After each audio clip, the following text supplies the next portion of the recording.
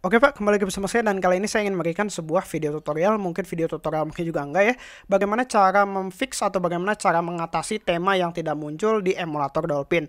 Misalnya kalian udah uh, download temanya, misalnya kalian udah simpen di directory-nya di styles gitu ya, tapi setelah kalian klik option, terus kalian klik yang configuration, terus kalian klik yang interface, dan kalian juga udah pastiin untuk yang use custom user style itu udah ke checklist juga, tapi di sini untuk yang user style-nya itu nggak ada gitu untuk uh, tema yang kalian uh, download, misalnya tema Teletubbies misalnya misalnya kalian nggak melihat untuk tema Teletubbies atau tulisannya Teletubbies itu nggak ada gitu. Dan itu jujur menurut saya agak sedikit uh, menyebalkan gitu. Jadi di sini nggak nggak langsung muncul gitu ya. Jadi untuk cara uh, ngefixnya atau bagaimana cara mengatasinya adalah kalian dengan uh, merestart atau dengan membuka ulang untuk emulator Dolphin ya karena jujur waktu itu saya juga uh, kemarin sih ya kemarin tuh saya kayak gitu. Jadi udah saya simpan ya untuk uh, filenya di sini. Dan itu nggak muncul gitu untuk uh, untuk temanya di emulator Dolphinnya tuh nggak muncul gitu.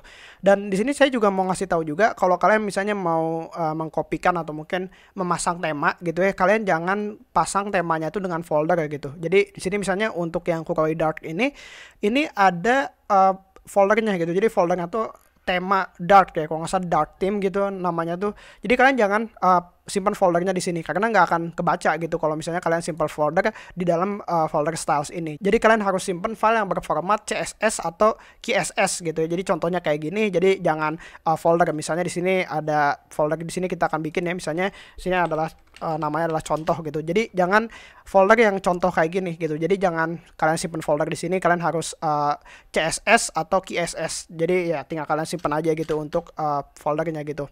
Dan ya jadi cukup segitu doang sih untuk videonya cukup gampang banget tinggal kalian simpan aja filenya tapi jangan berbentuk folder di dalam folder styles ini dan tinggal kalian uh, buka ulang aja atau mungkin tinggal kalian restart aja untuk Dolphin emulatornya.